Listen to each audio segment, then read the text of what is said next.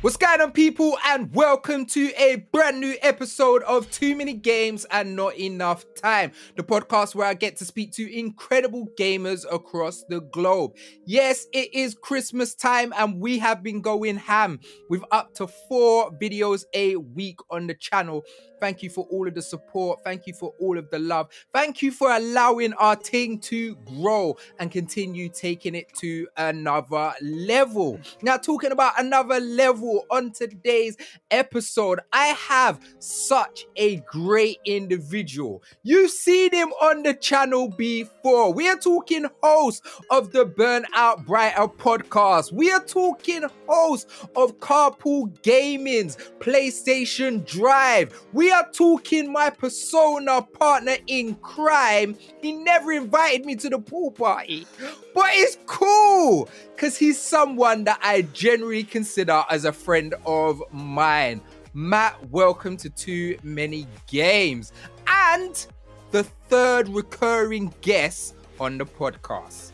What's going on, my dude? It's awesome to be back, and I just need to set the record straight. The invitation was sent. It's not my fault you didn't read the tiny font on the bottom of the thing, but it's it's awesome to be back here, dude. I'm stoked to rock with you once again and talk about all the gaming things that we're gonna get into. Well, I love being able to talk content with you. Like we've met. I don't even know. Has it been like two years now? Yeah, dude. I think it was yeah, so 2020. About, yeah, all right, cool. So yeah, so just over two years ago, we met. You reached out to me about your podcast. Uh, I get reached out a lot. Whenever someone reaches out, I go and check out the content right right away, and I loved it. I think I listened to about four or five episodes straight away, and as soon as we got on, we've just vibe. We talk about gaming all the time. Like we're always messing each other. If it's from Final Fantasy, if it's Persona, like we like to geek out. Um, you've had me on a PlayStation Drive, um, so I'm super excited to talk some games with you. But you know what, man? What? I've had so many conversations with you. So many. I've cussed your your your views on certain games. I've agreed with you on other stuff. But one thing I've never found out is how did your gaming journey start? Like we've never had that conversation. So let's talk it, take it back. Let's talk it to little Matt when you didn't have no fluff under your nose. you get me? When you wasn't looking at the waifus, when you were just a little guy. Tell me how you got into video games. You know what, man? It's it's something that I, I like to think about sometimes because like I got into gaming pretty young. My uncle, like back when he lived with us at the time, you know, my family being uh, new immigrants around that area, around that era, but like he had a Sega Genesis and he had like I don't even remember what it was anymore, but I think he had some baseball game, and I was like, whoa! I was like, I don't know, four or five. But I kind of it, I, that kind of always stayed with me, and I think my parents saw how much I would you know crash into his room, being like, "Can I play?" Um, that like for Christmas, uh, a couple years later, I got the PlayStation. My parents got it for me, and I remember get the first game I ever got was Disney's Hercules, and I remember opening that box up, and I was like, "Yes, PlayStation," and that pretty much what kicked my PlayStation love off. But I remember sitting there and playing Hercules, and I remember playing for like half an hour, and my parents were like, "All right, you, you got to go to sleep now. Go to sleep. Go to sleep." And I was like, oh, come on. I just want to sit around and play Hercules. I went to bed. I got up the next morning at like 6 a.m. I brought, like, you know, back in those days, getting up at that time, break of dawn, not a problem. I ran downstairs my uncle and my dad were still sitting there playing Disney's Hercules. They stayed up all night on that PlayStation, playing the entire time. I know why they sent me to bed early now. It's because they wanted to run on it. And it's that- just ever ever since then, you know, gaming's just been a mainstay in, in my life. And it, it all started with Disney's Hercules on the PlayStation. That is hilarious. So the Genesis, um, that's what you lot call it over there in the States and in Canada. In the UK, we called it the Mega Drive. Right. And it's funny because like the Mega Drive was big in Europe. Like say like Sonic was a bigger character than Mario was in in Europe, and then obviously in the States Mario was the bigger one. So yeah. it's actually interesting that he had the Genesis instead. And um the PlayStation 1, I remember first getting my PlayStation 1, and you already know the first game I got was Final Fantasy 7. Um, but I the thing that I remember the most about the PlayStation 1 was uh, being in the hood and people used to chip it. So you used to chip the PlayStation 1, and then you basically what they would do is they chip it, and then you'd have to get all of your games just on disc, and I'd buy them for like five pound yes, a piece. Dude. Yeah, they were sick.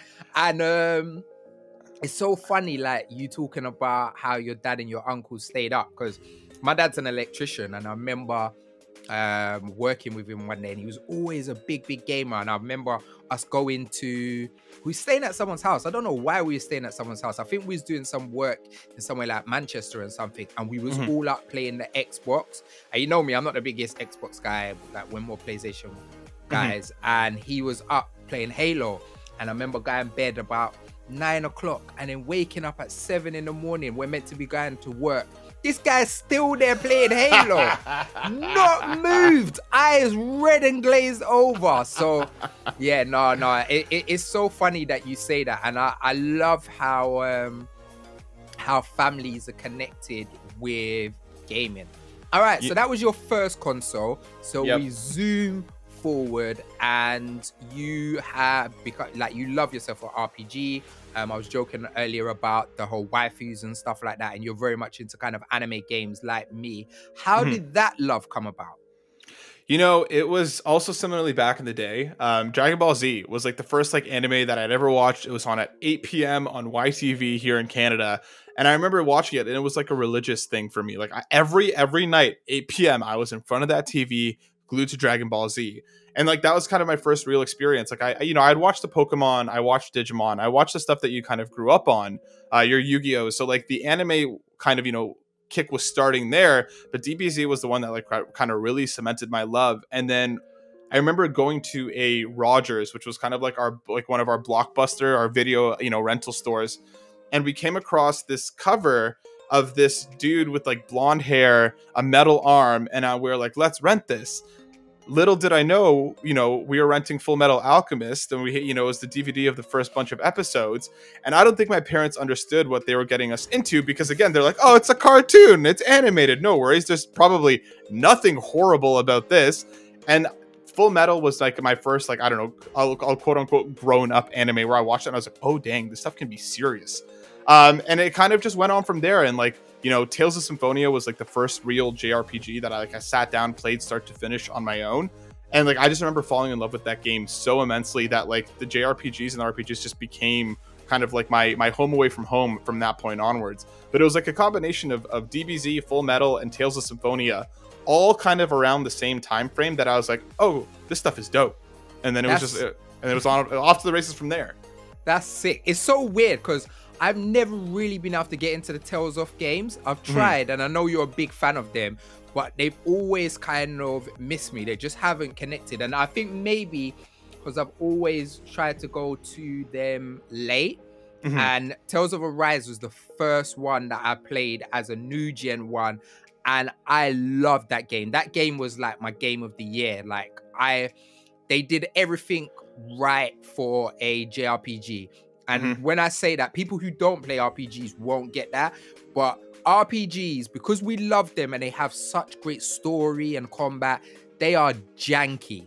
Like RPGs have some JRPGs have some jankness to it. And when I'm talking about janky, I'm not even talking about frames and stuff like that, where they have a jankiness to it that we love and we're used to. A great example is we both love Persona 4 Golden. Like Mhm. Favorite Persona game, even though Royals almost taking it over. It's up But- there. Yeah, but on a thing, and one of the things that a lot of people kind of saying they're like, oh, you should play Persona, and everyone's like, oh yeah, but I don't have hundred hours, and it takes twenty. It takes um, it takes twenty minutes for the game to get good for you to get in combat, and that jankiness is the reason why we love RPGs because Mhm. the lore that you get with those characters, like they connect us with characters. Yeah, we might not get into a fight for 15 minutes, but you see in that 15 minutes, we learn those characters so much, they become part of our heart. You get me? I'm totally with you, and it's kind of funny because I feel like that almost like builds into you this like certain bar that like for for an example here I've been playing Marvel's Midnight Suns constantly lately, and like the writing in the game is kind of hammy. It's kind of you know it, it's a little weird and it's a little strange sometimes.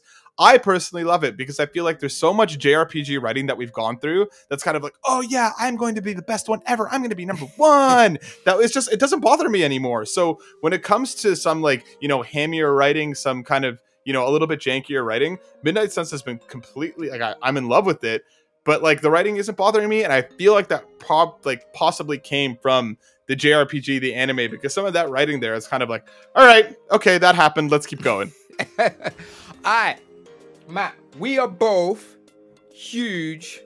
I brought out the scarf for you, PlayStation fanboys. Yep. Oh, come on. Yeah. Get it right. Glory, glory. Glory, glory. Yeah, Yeah, but we respect all consoles. Like we love Xbox, we love Nintendo, but we are big PlayStation fans. You are host of a really incredible podcast called The PlayStation Drive. PlayStation have some of the greatest experiences that I've ever played on a console. And we're going to talk about Crisis Core in a minute because it's really new and it's coming out. But I just want two games from PlayStation Library that's had a major effect on your life. It could be for two completely different re- reasons, but two games from the library that's had a major effect on your life. Could be new, old. Take the floor, my friend.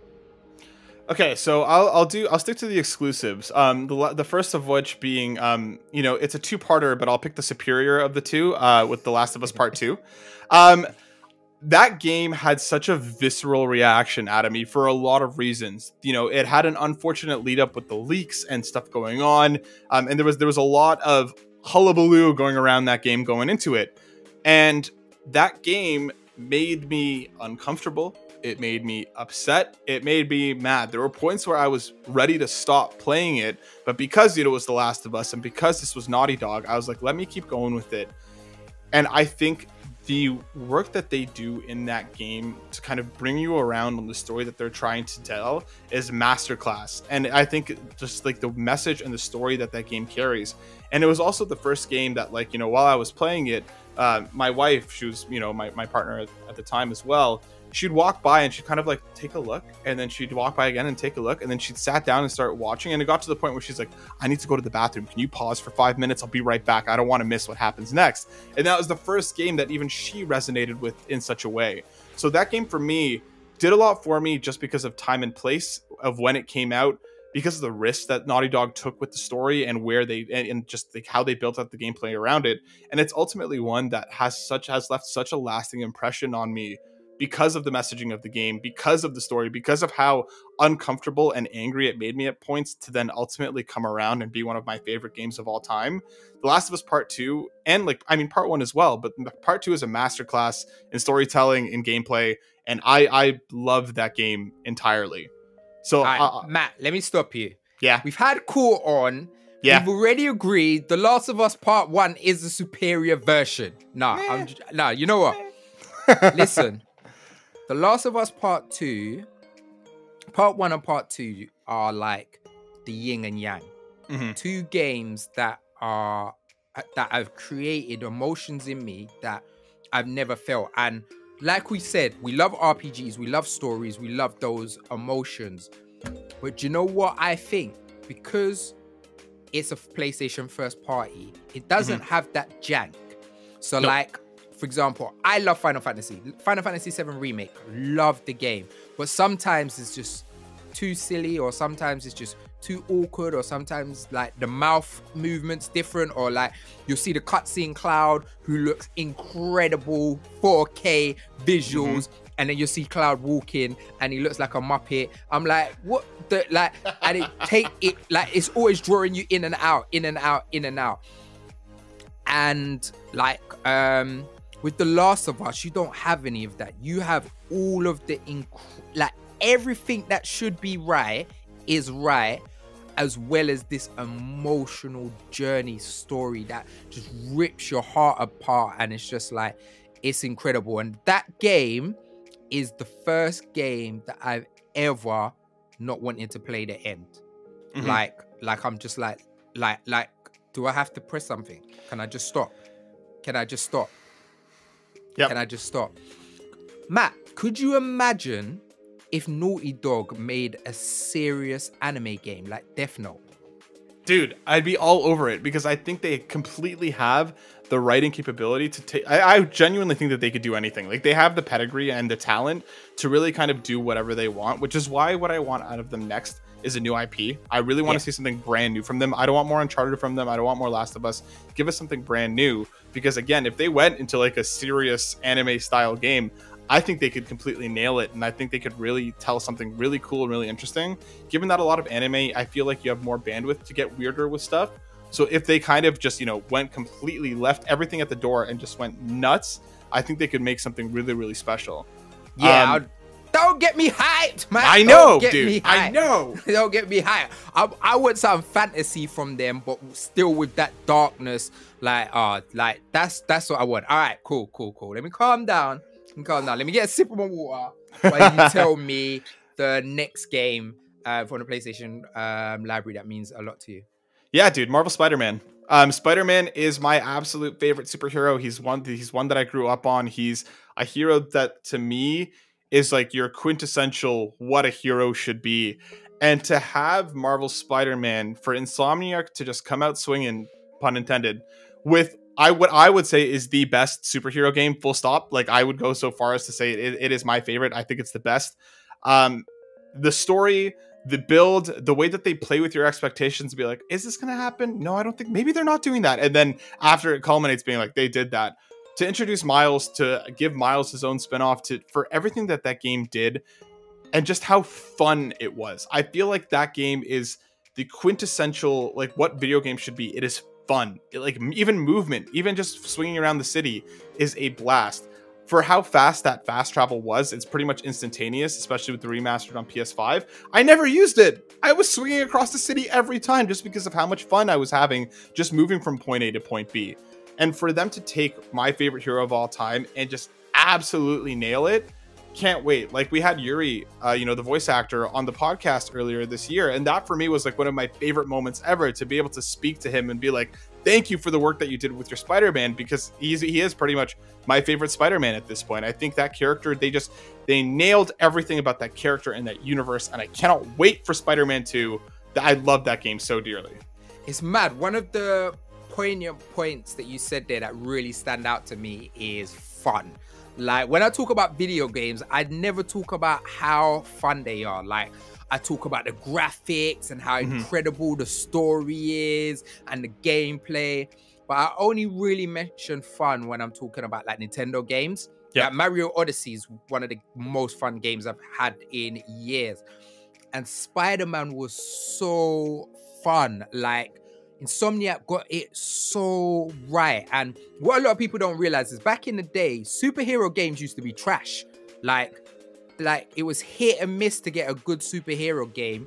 Mm-hmm. And then the Arkham series came out and they got Batman so right. And everyone was like, wow, like that's the best superhero game. You can't get better. But I think Insomniac took it to the next level. I completely agree. I think it's the best superhero game ever. And then when we got Miles for the launch of the PS5, and I remember playing it, like I can't even, I can't even count the amount of black superhero games I've played on one hand in my life. And I remember swinging in and seeing the Black Lives Matter uh, mural on the wall, yep. and it just touched my heart, man. I was just like, and I'm not even like you. I know you. You cry all the time. I'm not even a crier yeah. like that, but it made me like, it made me wanna like. I started getting like choked up and stuff. So yeah, no, I proper agree with you. That that is easily one of the best um, PlayStation games uh, made, and and it's not an easy game to make. Like to to do everything, and it's not perfect. No, nope. um, but it's not an easy game to make. All right, cool. So let's talk PlayStation third parties. One of the things that PlayStation do really incredible is team up themselves with dope third parties, and one of the third parties they've teamed up with a lot is Square Enix, and we got mm-hmm. Final Fantasy VII remake. That I'm not going to talk about anymore, but um, Square's actually remastered the old school PSP. We both had the PSP. Love me my PSP. I think I played my PSP way more than my VR, and um, on the PSP, it had a game called Crisis Core, which was a prequel to Final Fantasy VII, and it followed the story of Zack Fair, and it basically dropped a huge bomb, which we found out in OG Final Fantasy anyway, but it basically explained the huge bomb that happened in the game that we're not going to mention because it's a mad spoiler. So two questions. Mhm. One, are you excited for Crisis Core? What are you gonna play on it? Because I know you're like a Steam Deck Jezzy nowadays. and two, why do you think Square is so confident to drop such a huge bomb? So I've actually never played Crisis Core. Um, it, this this is gonna be my, this is gonna be my first time through it. Um, so I'm I'm incredibly excited because this was one of those games where um, I just missed it. It passed me by when it when it hit, and I just never really had an opportunity to go back. So I'm incredibly excited when they when we got remake and then the announcement of Rebirth. I was really hoping that we would see Crisis Core in some iteration come back, especially the way that remake ends. I won't spoil anything, but Crisis Core was always like that lost chapter for me. So to have it now properly remade with you know a, a bells and whistles added, the game looks fantastic. I can't wait to hop into it. I will be playing it on the Steam Deck again, just because Uh, from all the reviews and stuff that I'm seeing, it runs at 60 frames, no problem on the Steam Deck for like three to four hours. I'm about it. I want that thing with me on the go. And even just to kind of emulate that PSP heritage of where it came from. So I'll be picking it up on Steam Deck. And, you know, I, I can't wait to see because all I've ever heard about is how important Crisis Core is. So even like the bomb that you're referring to, I don't know what that is. And I cannot wait to find out. I'm so stoked. Wait, wait, wait. So have you completed the OG Final Fantasy 7? I got like halfway and then fell off and just never went back, and for no particular good reason. But I'm going to like I want to play it properly, start to finish, before Rebirth. So I played it on um, the iPad. So I just played it on the iPad. True. Um, so so yeah, you're gonna get a huge spoiler that's gonna blow your mind for Rebirth that you're not gonna even expect. So I'm I'm excited for you. I was so tempted to play it on my Switch Mhm. just to relive that that moment, but I was like, you know. I've completed it already. Let me experience it on the screen on the TV and now you're in for a ride, my friend, and and and and yeah, you you you you're in for a, you're in for a good time, Matt. Yeah, dude. Running ran out of time, man. I there's so many. I didn't get to speak to you about Persona. We didn't get to speak more about the PlayStation Drive. Um, I gotta say, there's I've worked in this industry for a good long time, and I've met loads of people, and I've I'm cool with so much people, and I've got such dope relationships with so many people. But there's not many people I would consider a friend, and I actually consider you as a friend. I think you're super dope, super talented, and I want you to continue to do everything that you keep on doing because you're great at it. And I want you to all go and check Matt out. Matt, before you leave, where should the people come to find you? Well, thank you, man. And like genuinely, like you are one of the people in this industry that I'm very lucky to call a friend. Somebody who's been in my corner for quite a long time. Uh, you inspire me, and I respect you gratefully. So, like, thank you for having me back on the show. It was awesome being here.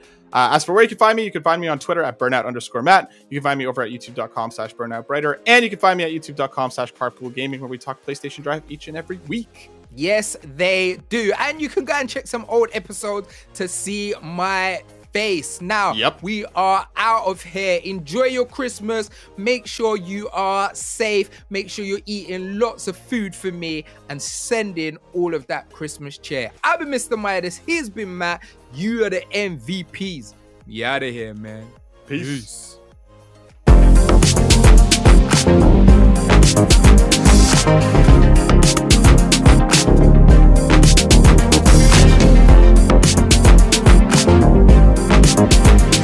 Thank